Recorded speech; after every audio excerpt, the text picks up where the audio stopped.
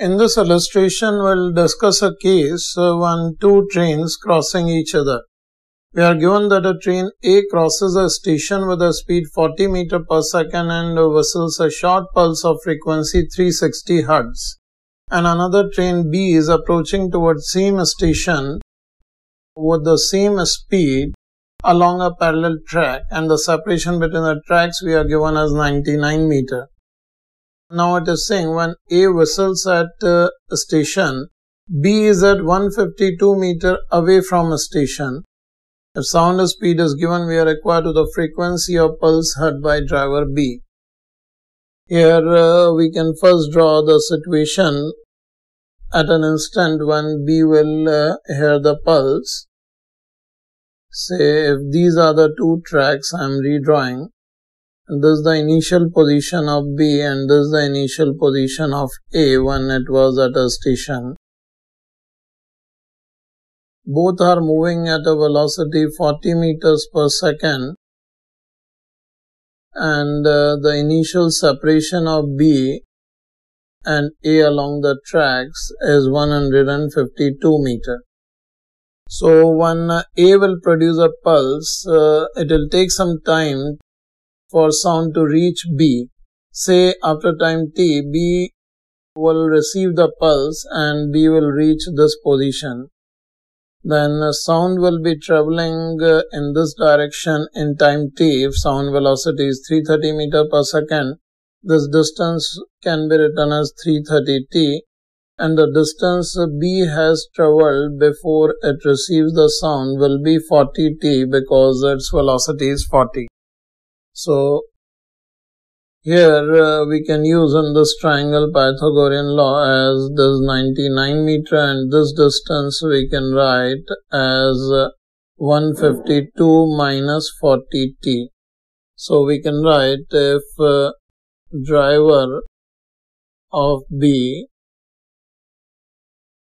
hears the pulse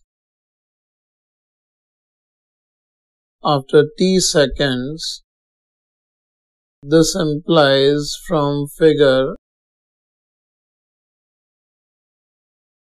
we use 330t square must be equals to 99 square plus 152 minus 40t whole square.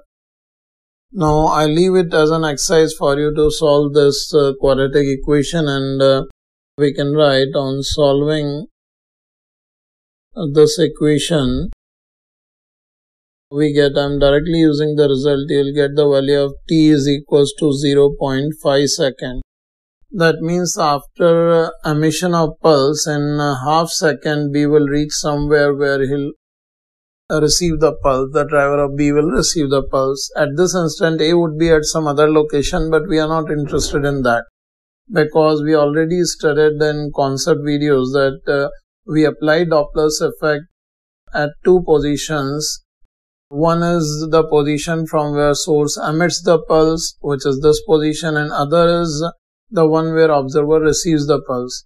Here both are moving at same velocity and if this angle is theta, then the value of theta can also be calculated and if we calculate the distance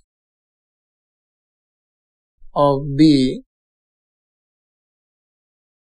from a station along track is this distance is 152 minus 40t and t is 0.5 so this equals to 132 meter. So here the value of tan theta we are getting is 99 divided by 132 that is 3 by 4 this implies the value of theta we are getting is 37 degree. So if we calculate the apparent frequency uh, received by B is this we can directly make use of the relation of Doppler's effect and then apparent is equals to n naught multiplied by here uh, we can consider source velocity and observer velocity components along the line joining source and observer position from where source emits the pulse and observer receives the pulse. So along this line we can use the component as 40 cos theta and this will also be 40 cos theta. So as source and observer both are approaching each other, here we can write n naught multiplied by 330 plus 40 cos 37 degree divided by 330 minus 40 cos 37 degree. On uh, numerically solving this, we'll get it n naught multiplied by this 360 divided by 300 and uh, if we substitute the value of n naught here uh, initial frequency of pulse is given as 360 so this 360 multiplied by 360 by 300. So here uh, we also cancel this 3, this 12 and 36 multiplied by 12. Here will be 432 hertz and that is the result of this problem.